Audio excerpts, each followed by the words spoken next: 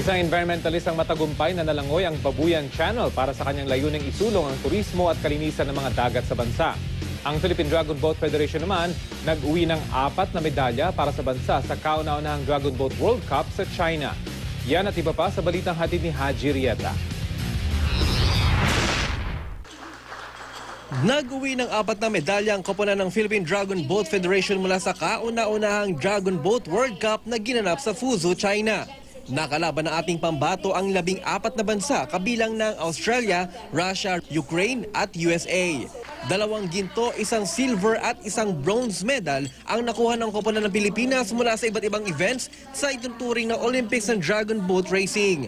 Dahil dito nagtapos ang ating koponan sa ikalawang pwesto sa patimpalak. Itong mga Pilipino, ah, ina-underestimate dahil sa maliliit kami. Ngayon, hindi nila alam ang maliliit na athlete, nandoon yung bilis. Karamihan sa mga miyembro ng team kasapin ng Philippine Air Force at Philippine Navy. Plano nila ngayong dagdagan ang kanilang Dragon Boats para mas mapaigting ang training nila sa mga susunod na kompetisyon.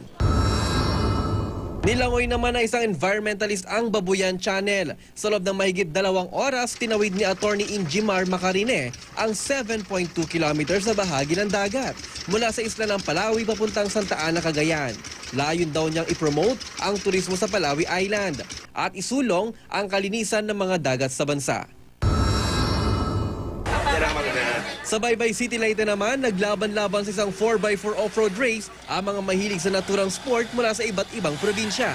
Hindi biro ang racetrack na ginamit sa karera. May ilan pang sasakyang tumaob pero wala namang malubhang nasaktan.